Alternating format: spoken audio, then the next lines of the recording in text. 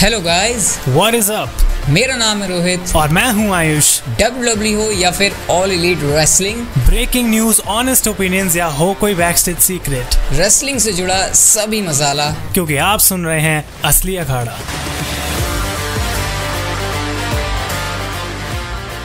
तो gas welcome एक बार फिर से आपका असली अखाड़ा के एक और नए एपिसोड में। और आज का जो एपिसोड है, वो थोड़ा सा यूनिक और इंटरेस्टिंग होने वाला है। हो सकता है थोड़ी यहाँ पर कंट्रोवर्शियल बातें हो जाएँ, क्योंकि एपिसोड के अंदर टॉपिक ही हमारा कुछ ऐसा है। इस वीडियो के अंदर हम लोग रैंक करने वाले हैं।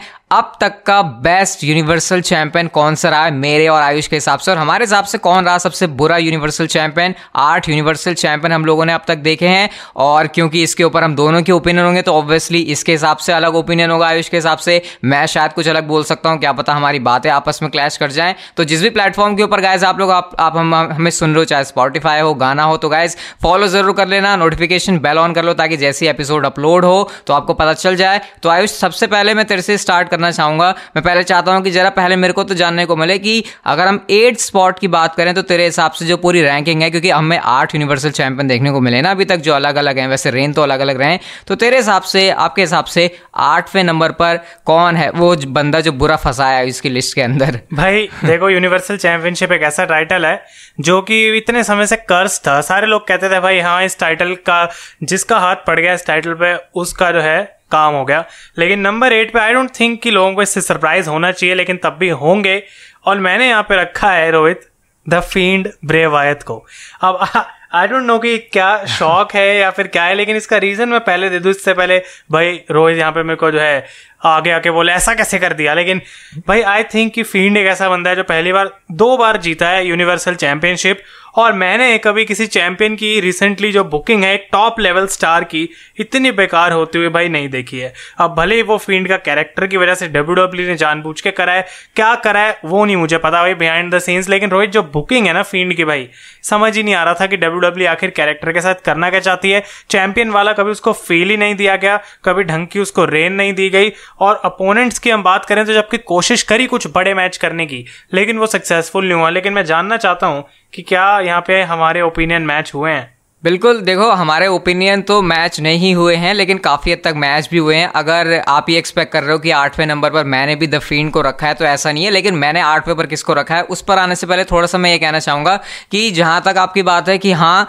जिस तरीके का फ़ील्ड बंदा जितना बड़ा उसका स्टार लेवल था, वैसी बुकिंग उनको नहीं मिली, क्योंकि भाई मिस जैसा बंदा जब आप तुम एज अ चैलेंजर सामने उतार दोगे तो भाई, कैसे सीन बनेगा? Daniel Bryan as a challenger सही रहते उनके लिए, काफ़ी कोशिश भी की कि भाई, लगे बिलीवेबल लगे, लेकिन भाई मामला बैठा नहीं वैसे। तो मैं इस बात से अग्री करूँगा कि, कि जितने बढ़िया वो बन सकते थे जितनी अच्छी बुकिंग हो सकती थी वैसा हुआ नहीं है। लेकिन मेरी लिस्ट में आठवें नंबर पर वो बंदा है जिसकी चैंपियनशिप जीतने पर मैं खुश तो बहुत हुआ था। लेकिन जब बुकिंग देखी भाई मेरा दिमाग खराब हो गया सिर पटकने लग गया मैं। और यहाँ पर मैं बात कर रहा हूँ वही सुपरस्टार जो कि रिलीज़ हो चुके हैं बिल्कुल ब्रिवाइट की तरफ़ ब्रॉन्स स्ट्रोमैन की। ब्रॉन्स स्ट्रोमैन का टाइटल रेन मैं उम्मीदें लगाते लगाते लगाते लगाते डब्ल्यू से थक गया। और मेरी उम्मीदें टूट भी गई जाके क्योंकि मुझे समझ आ गया भाई नहीं होने वाला नहीं होने वाला नहीं होने वाला ब्रॉन्स वुमेन के साथ कुछ अच्छा। और टाइटल रेन खत्म भी ऐसे हुआ। पूरे टाइटल इस लेंदी टाइटल रेन के अंदर मैं कहूँगा लेंदी टाइटल रेन है नहीं जबकि लेकिन बोलना पड़ रहा है क्योंकि यहाँ पर मेरे ख्याल से सौ डेढ़ सौ दिन तो थे। भाई साहब कुछ करके नहीं दिया यार। नहीं करके दिया ना आयुष मैं मैं मैं मैंने आठवें नंबर पर इसको गुस्से में आकर भी रखा है क्योंकि मेरी एक्सपेक्टेशन थी इससे। और जब एक्सपेक्टेशन तुम किसी चीज़ से लगाते हो और वो चीज़ होती नहीं है तो भाई फिर उसको देखने में मज़ा नहीं आता और इसलिए मेरी लिस्ट में आठवें नंबर पर ब्राउन स्टोमन का नाम है भाई। और और कमाल की बात पता क्या है रोहित, यहाँ पे कि एक्सपेक्टेशन शायद और भी बहुत लोगों की थी, लेकिन उनमें से एक मैं नहीं था। और आई डोंट थिंक कि इससे रोहित डिसएग्री करेगा, क्योंकि जब हम पहले उस टाइम पे भी बात करते थे तो रोहित को मैं ये बोलता था, भाई ब्रॉन्स स्ट्रोमेन जो है, एक बंदा ऐसा है जो हाँ उसको अगर डब्ल्यू डब्ल्यू चाहे तो भाई क्या नहीं कर सकते। हो सकता है कि कुछ हो जाए, लेकिन वो जो लिमिटेशन थी ना ब्रॉन्स स्ट्रोमिन की, वो मुझे हमेशा दिखती थी कि नहीं भाई, इसके साथ या तो डब्ल्यू डब्ल्यू कुछ करने नहीं वाली। क्योंकि एज अ चैंपियन मेरे को ऐसा लगता था कि ब्रॉन्स स्ट्रोमिन भाई एक हद तक ही कुछ दे सकता है। उसके बाद जो है, उसकी लिमिट वहाँ से आगे नहीं जाती। लेकिन इस बात से मैं डेफिनेटली एग्री करूँगा कि जो बुकिंग रही थी ब्रॉन्स स्ट्रोमिन की इट वॉज़ टेरिबल और इसी के लिए मैंने द फ़ील्ड को जबकि रखा, क्योंकि वो गुस्सा मेरा फ़ील्ड इसके साथ था, जो रोहित का ब्रॉन्स रोमन के साथ था लेकिन रोहित मेरी लिस्ट में नंबर सेवन पे ब्रॉन स्ट्रोमन है क्योंकि आई डोंट थिंक कि लोगों की एक्सपेक्टेशंस मैच हुई और साथ के साथ ब्रॉन स्ट्रोमन की भी एक्सपेक्टेशन मैच नहीं हुई क्योंकि जब यूनिवर्सल चैंपियनशिप जीतने का तरीका देखा हमने जिस तरीके से वो हुआ भाई तो लोग खुश हो गए कि फाइनली ब्रॉन स्ट्रोमन को एक मॉन्स्टर बना दिया है ये तो बढ़िया चैंपियन बनेगा।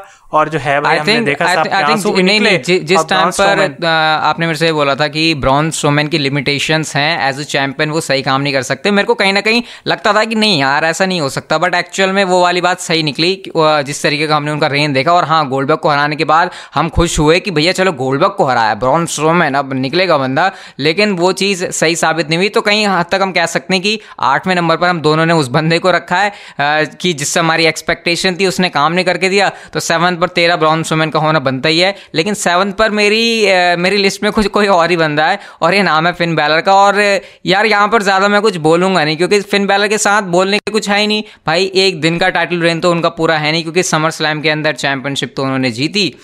लेकिन उसके बाद आप पता ही है शोल्डर इंजरी की वजह से उनको जो है वो टाइटल रिलिंक्विश करना पड़ गया। तो यार, यहाँ पर ज़्यादा कुछ बैलर के बारे में बोल नहीं सकते और मेरी रैंकिंग में तो वो सेवन नंबर पर रहेंगे। और मेरे ख्याल से शायद तेरी लिस्ट के अंदर भी ज़्यादा रैंकिंग में दूर है नहीं कहीं फिन बैलर मज़े की बात यह है कि मैं सोच रहा हूँ कि रोहित ने फिंड को आखिर कितनी सिंपति दी है, लेकिन फिन बैलर को मैं भी सिंपति दे रहा था कि यार इस बंदे की भले ही क्या गलती है इंजर्ड क्यों हुआ? अगर नहीं हुआ होता तो रोहित, क्या पता यूनिवर्सल चैंपियनशिप कभी कर्स्ट ही ना होती, क्या पता यूनिवर्सल चैंपियनशिप बेस्ट चैंपियनशिप बन जाती, लेकिन 22 घंटे की रेन के साथ इससे ज़्यादा सिंपति मैं फिन बैलर को नहीं दे सकता and he is number six in my list और जैसा कि रोहित ने कहा, भाई इसके बारे में हम क्या ही कॉमेंट कर सकते हैं, क्योंकि भाई जीता टाइटल और आके रिलिंक्विश कर दिया। उसके बाद, लेकिन रोहित, इतना मैं ज़रूर बोलूँगा कि डब्ल्यूडब्ल्यूई के पास ना मौके थे। उन्होंने एनएक्सटी में भेज दिया, बैलर को वापस लाके। पता नहीं क्या करा, लेकिन डेफिनेटली कहीं ना कहीं मौके थे टाइटल फिर से जितवाने के। बैलर के मौके टाइटल जितवाने के थे, लेकिन मुझे लगा कि डब्ल्यू ने शायद ऐसा सोच के रखा था कि भाई, इस बंदे ने अगर पहले पॉइंट पे क्लिक किया तो किया, और उसके बाद अगर ये चीज़ नहीं हुई तो फिर ये दोबारा से कभी लौट के आनी नहीं है। भले हमने रॉ पर देखे कि ऐसे रोमन रेंस ने उनको मैचेस दिए थे यूनिवर्सल चैंपियनशिप के, लेकिन हमको पता था कि ये मैचेस उतने बड़े लेवल के नहीं है कि जहाँ पर फिन बैलर यूनिवर्सल चैंपियनशिप को दोबारा से क्लेम कर लें। तो वो मौके बनने जैसे मूवमेंट आए नहीं है ऐसा लग रहा है अब वो शायद आने वाले हैं बट खैर वो बात की बात है। लेकिन हाँ वो फिन बैलर का शायद मौका अगर उस टाइम पर बन जाता तो विंस मिकमैन का विंस मिकमैन का जो भरोसा था ना ऐसा लग रहा है कि फिन बैलर ने पहले ही बारी में गवा दिया। उसके बाद विंस ने ट्रस्ट नहीं ने उसके बाद ट्रस्ट नहीं दिखाया। तो ये तो था फिन बैलर का सिक्स नंबर पर लेकिन मैं अपने सिक्स नंबर की बात करूँ तो यहाँ पर मैंने लिस्ट किया है किसी और सुपरस्टार को नहीं, बल्कि two time universal champion Bill Goldberg को।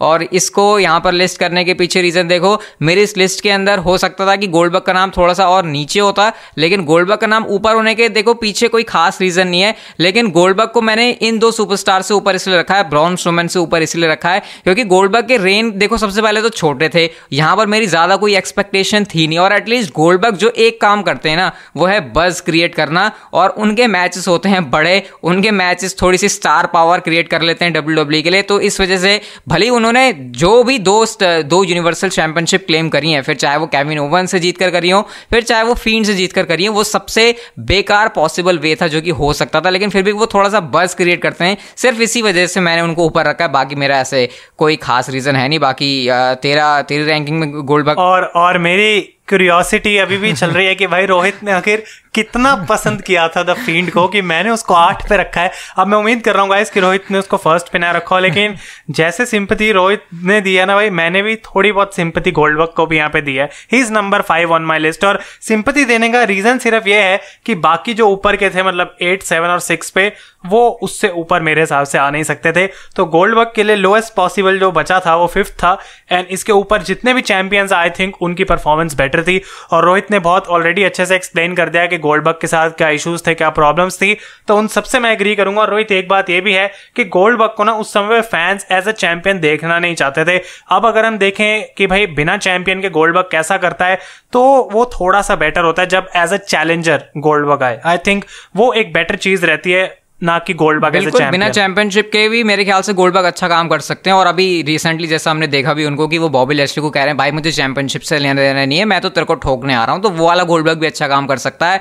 और भाई आयुष जरा तुम्हारे इंतज़ार को खत्म करते हैं और फिफ्थ नंबर पर यहाँ पर मैंने किसी और को नहीं द फ़ील्ड को रखा और मुझे लगता है यहाँ पर एक प्रॉपर एक्सप्लेनेशन मेरे को अब देना पड़ेगा कि आखिर पाँचवें नंबर पर मैंने क्यों रखा है क्योंकि यहाँ पर अब आयुष सोच रहा होगा कि भाई इस नंबर पर मतलब पाँचवें तो नहीं यहाँ पर कौन सा नंबर हुआ है? एट्थ उसके बाद हमारा सेवन्थ आया फिर सिक्स आया फिर फिफ्थ आया हाँ फिफ्थ नंबर यहाँ पर आया। तो फिफ्थ में यहाँ पर फ़ील्ड को रखने का देखो रीज़न ये है कि मैं यहाँ पर मानता हूँ कि जो उनका रेन था, वो अच्छा नहीं था। उनको जिस तरीके की बुकिंग मिल सकती थी, वैसी नहीं हुई। लेकिन फिर भी अगर मैं इनसे नीचे स्टार्स देखूँ Goldberg Finn Balor and Braun Strowman तो इनसे कहीं ना कहीं लिस्ट ऊपर उनको रखता हूँ। और शायद मेरा सिर्फ़ यही एक रीज़न है। अगर मैं गोल्डबर्ग के रेंज से कंपेयर करूँ, अगर मैं फिन बैलर से देखूँ, अगर मैं ब्रॉन स्टोमैन से देखूँ तो एटलीस्ट फिन बैलर एक मेरी नज़र में एक बड़ा स्टार है। और मैं फिन मैं फीन को एज चैंपियन ब्रे वाइट को एज चैंपियन उनके कंधों पर चैंपियनशिप देखकर खुश होता हूँ कि ये बंदा चैंपियनशिप अपने कंधों पर होल्ड करना डिजर्व करता है।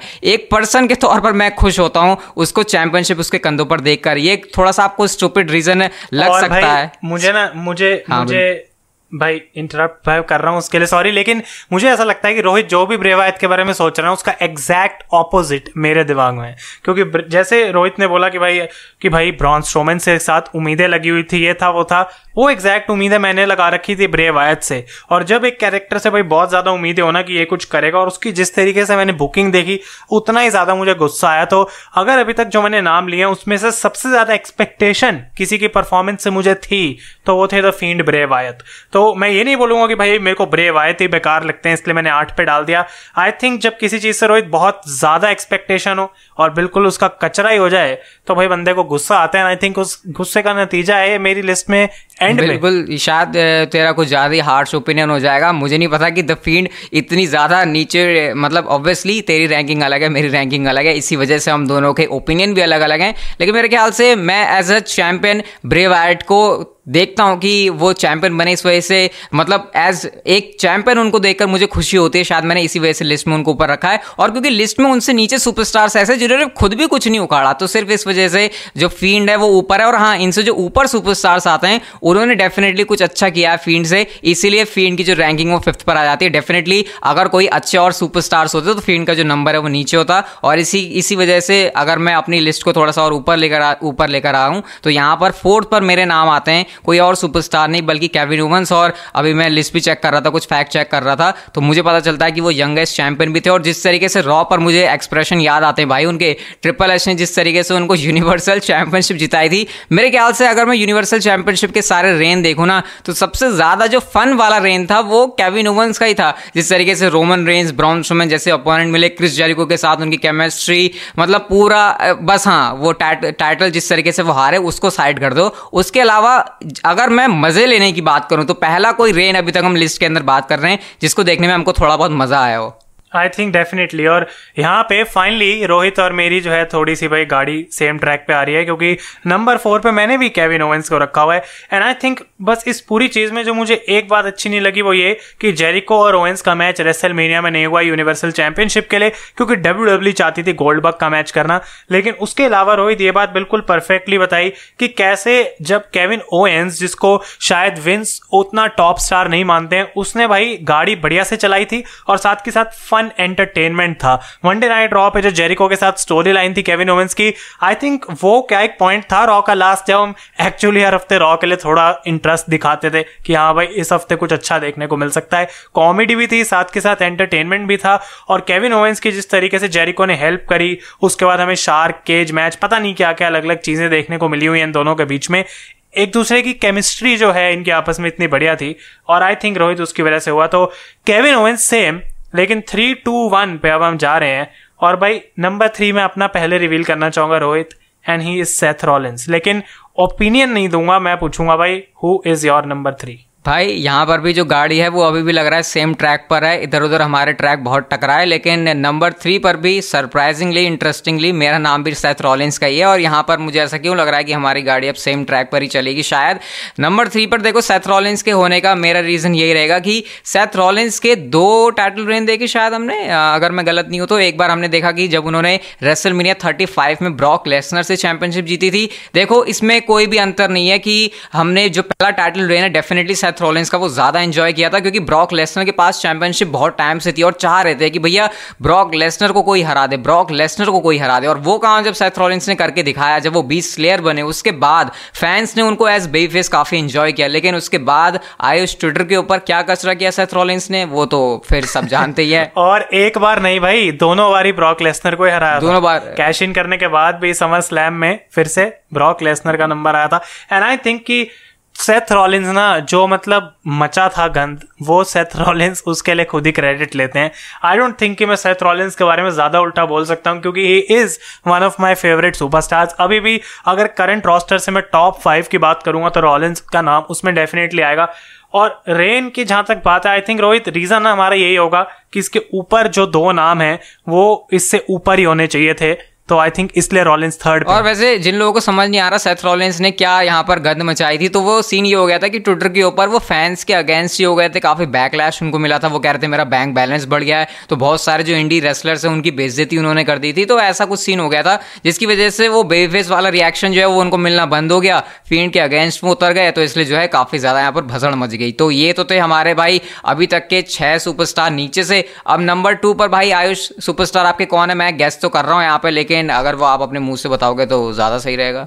आई डोंट थिंक ये कोई गैस है, मुझे लग रहा है कि मेरी लिस्ट लीक हो चुकी है कहीं, लेकिन दिस इज़ ब्रॉक लेसनर तो ब्रॉक लेसनर के तीन यूनिवर्सल चैंपियनशिप की रेन रह चुकी हैं और मैं मतलब बहुत कंफ्यूज था और ऑब्वियसली यहाँ पे हमने, मैंने अपना नंबर वन भी रिवील कर दिया है, लेकिन ब्रॉक लेसनर रोहित मेरे हिसाब से उनकी तीन रेन रही हैं, लेकिन मतलब कहीं ना कहीं ना मुझे ऐसा लगा कि बहुत ऊपर नीचे ऊपर नीचे ग्राफ रहा लेसनर का।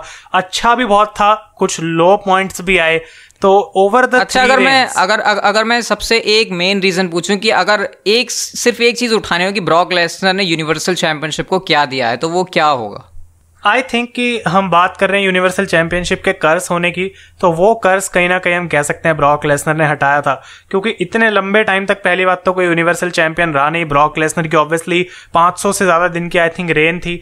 तो वो एक पॉइंट था, लेकिन उसके अंदर जो मैचेज उनके कम हुए, वो भी थोड़े मतलब उतना इंटरेस्ट नहीं बना था क्योंकि बहुत इनकन्सिस्टेंटली लेसनर आ रहे थे।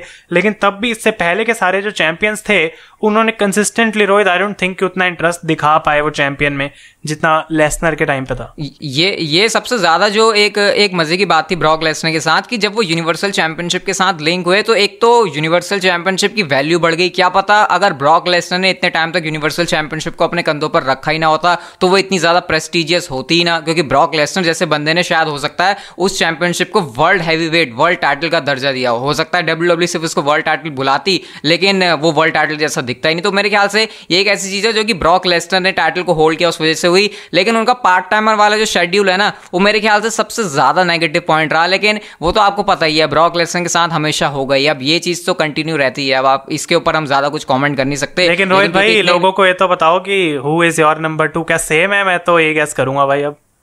नंबर टू तो हमारा सेम है और ऑब्वियसली नंबर वन भी हमारा सेम ही है and it's tribal chief universal champion current universal champion Roman Reigns और नंबर वन पर होना मुझे लगता है कि लिस्ट में इतना आगे है बाकी सुपरस्टार से, इतना आगे है जिसकी कोई लिमिट नहीं है, इतना आगे है। आई थिंक ब्रॉक लेसनर ने जो है वो कर्ज हटाया यूनिवर्सल चैंपियनशिप से, लेकिन रोमन रेंज ने बोला कि भाई कर्ज तो वापस नहीं आएगा अब। एंड आई डोंट थिंक कि हम इसके लिए सिर्फ़ रोमन रेंस को क्रेडिट दे सकते हैं। ऑब्वियसली बहुत बंदे इन्वॉल्व हैं रोमन रेंस के पूरे इस बिल्डअप में। लेकिन अगर ये दूसरी तरफ़ रोमन रेंस को एक्चुअली में बेबी फेस बना के चैंपियनशिप दे दी जाती तो भाई कहीं ना कहीं वो कर्ज वापस भी आ सकता था। एंड आई थिंक कि अगर ये यूट्यूब वीडियो होती रोहित तो मैं एक्सपेक्ट कर रहा हूँ कि किस टाइप के कॉमेंट्स हमें सुनने को मिलते। लेकिन कोई डिनाई नहीं कर सकता इसको कि Roman Reigns is the best universal champion हो सकता है फ्यूचर में आके कोई रोमन से भी बेटर परफॉर्म करे लेकिन टाइटल को इतना प्रेस्टिजियस दिखाना कि भाई दूसरा शो क्या है हमें वही भुला दिया है। मतलब मंडे नाइट रॉ के ऊपर Bobby Lashley W W champion लेकिन डब्ल्यू डब्ल्यू चैंपियनशिप मतलब यूनिवर्सल चैंपियनशिप से ऐसा लगने लगा है कि छोटी होने लगी और जहाँ तक हम रोमन रेंज के बेबी फेस वाले रन की यूनिवर्सल चैंपियनशिप रेन की बात करें तो भाई वो तो इतना बोना लगता है ये हील वाले रोमन रेंज के रेन के सामने कि मतलब बात ही क्या है। तो क्या जिस तरीके से हमने ये रैंक की आयुष की रैंकिंग कुछ डिफरेंट थी, मेरी कुछ डिफरेंट थी। हालाँकि जो हमारे टॉप चार थे, वो सेम थे और ऑब्वियसली वो सेम होने भी थे डिजर्व भी करते थे। बाकी आपके क्या ओपिनियन है, आप हमको बता सकते हो हमारे यूट्यूब वीडियोस के कॉमेंट सेक्शन में जाकर, बाद में जाकर हम कोई दूसरा तरीका ढूंढेंगे। बाकी अगर आपको एपिसोड पसंद आया तो क्या जिस भी प्लेटफॉर्म के ऊपर आप लोग सुन रहे हो फॉलो करके आप लोग नोटिफिकेशन ज़रूर ऑन कर लेना ताकि जब नेक्स्ट एपिसोड आए तो वो आपको ज़रूर पता चल जाए। बाकी हम लोग आपसे मिलते हैं असली अखाड़ा के नेक्स्ट एपिसोड के अंदर। तब तक के लिए good bye and take care